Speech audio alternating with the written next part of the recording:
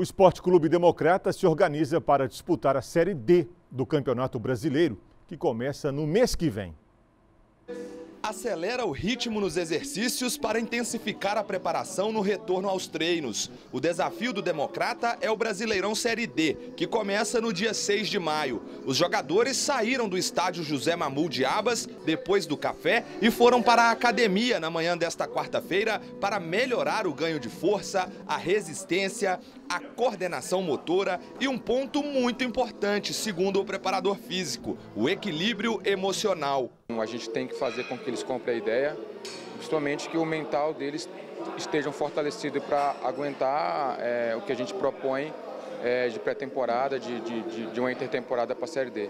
Então a gente acredita muito no, no, no poder da mente, acredita muito no, no auto, na autoconfiança, o autocontrole emocional.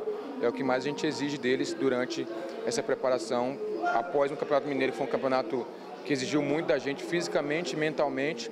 A gente deu uma pausa para a gente descansar, aliviar um pouco a cabeça e agora a gente voltou com foco total, aí, principalmente mental, para que a gente consiga aí, fazer uma grande Série D. E tem novidade na área. O João Vitor é o mais novo rosto da Pantera. Contratado para ser o homem-gol da equipe no Brasileirão, ele veio do Joinville, de Santa Catarina. Para quem não o conhece, vamos descobrir o que será que os torcedores podem esperar dele. Vai encontrar um João Vitor com muita dedicação, intensidade, uma boa presença diária e acredito que vou ajudar ali com bastante gols.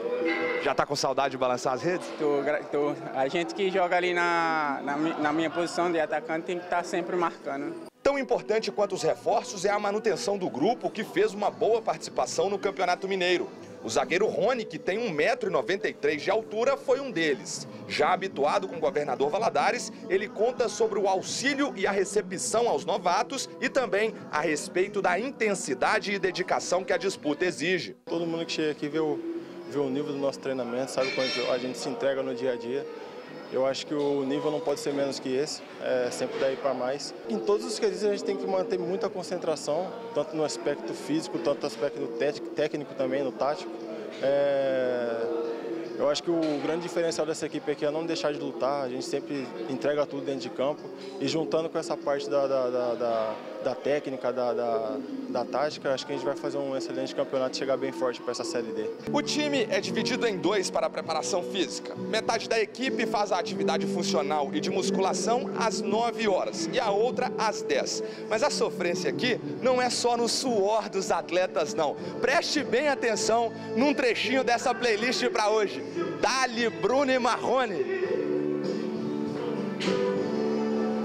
Tem dia que a playlist é um, é um, pouco mais de sofrência, tem dia que a playlist é um pouco mais de pagode. Hoje eles estão um, um pouco mais emotivos, não sei, não sei o porquê, mas é legal essa descontração no nosso trabalho. A gente trabalha sempre com alegria, com descontração, mas no momento sério eles trabalham sério também. O frio do meu corpo pegou